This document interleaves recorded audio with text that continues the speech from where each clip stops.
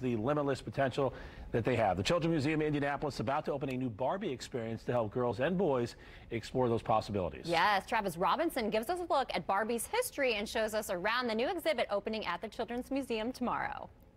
Hey guys, I'm here with Sarah at the Children's Museum at the Barbie You Can Be Anything experience. Now, Sarah, we're, we're looking at this wall of Barbies here, starting from 1959 up until today.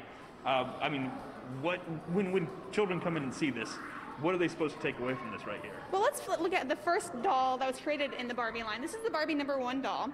And Ruth Handler created the Barbie doll when she was looking at her daughter's toys and noticed they were very limited.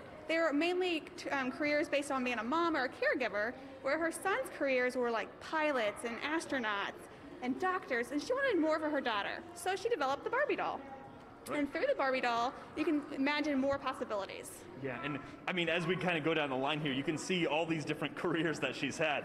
You have like the nurse, the ballerina, flight attendant, superstar, all the way. I mean, astronaut at 1985.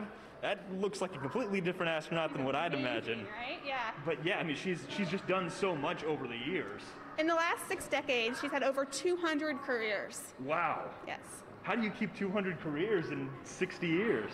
You're very, very busy and you're learning a lot. yeah.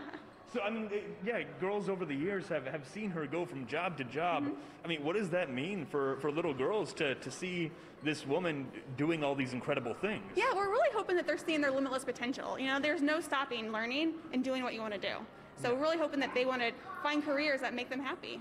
Yeah, and so that's kind of the whole point of the exhibit here is is helping girls find these careers that they maybe not they're maybe not thinking of, and right. maybe maybe are are uh, roles that she would traditionally see as a, a boy's job, right? Right. Their potential is limitless, and we want them to see that, and that's the point of this exhibition.